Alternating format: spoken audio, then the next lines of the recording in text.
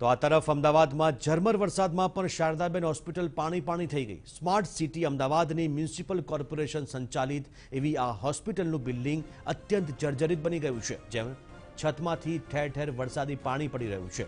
હોસ્પિટલની gallery, ward કે પછી ઓફિસ ચારે તરફ વરસાદી પાણી ટપકતા દર્દીઓ અને સ્ટાફ પરેશાન થઈ ગયો છે.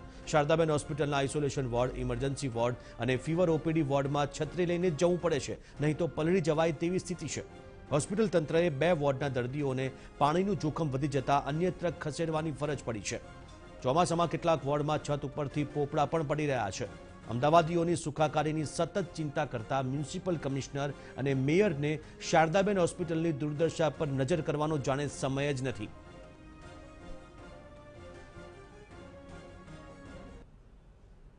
છજ્જુ છે ગાયનેક ઓપીડી પાસેનું, પોલીસ સ્ટેશન પાસેનું, એ એરિયા આપણે બંધ કરી દીધો છે.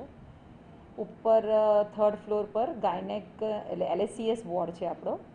એમાં બી પાણી ખૂબ પડતું હતું. એટલે એ પણ આપણે અત્યારના બંધ કરી ટેમ્પરરી એના પેશન્ટ આપણે બીજે શિફ્ટ કરી દીધા છે, બીજા વોર્ડમાં. અને ફિમેલ ઓર્થોમાં એ પ્રોબ્લેમ હતો, કારણ કે એ બી ટોપ ફ્લોર પર છે એ પણ. એટલે એ પણ અત્યારે આપણે ટેમ્પરરી બંધ કરી દીધો છે. વરસાદ શરૂ થતાની સાથે જ શારદાબેન હોસ્પિટલના બિલ્ડિંગની અંદર પણ વરસાદ વરસતો હોય તેવા દ્રશ્યો જોવા મળતા હોય છે અને એટલા માટે જ શારદાબેન હોસ્પિટલના બેથી ત્રણ વોર્ડ ખાલી કરવાની ફરજ સત્તાધીશોને પડી છે. કારણ કે જે દર્દીઓ છે તે દર્દીઓને જે વરસાદી પાણી છે તે વોર્ડમાં એટલી હદે લીકેજ થતું હતું કે તેઓને શિફ્ટ કરવાની ફરજ પડી. ફિમેલ વોર્ડ છે જેના આ દ્રશ્યો છે કે બિલ્ડિંગ જૂનું હોવાના કારણે સતત ભેજ અને લીકેજનો સામનો દર્દીઓને કરવો પડતો હતો. જેના કારણે જે બેડ છે તે બેડને પણ અહીંથી શિફ્ટ કરી દેવામાં આવ્યા.